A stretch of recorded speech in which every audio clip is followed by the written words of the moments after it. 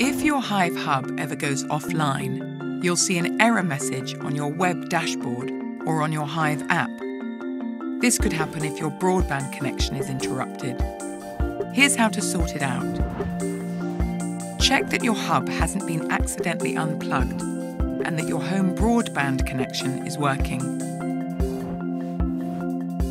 Restart your hub by switching the wall socket off, then on again. The hub light will flash while it's reconnecting and will stop flashing once you're reconnected. If you're having problems with your broadband connection, give your internet provider a call. They'll get you back online in no time.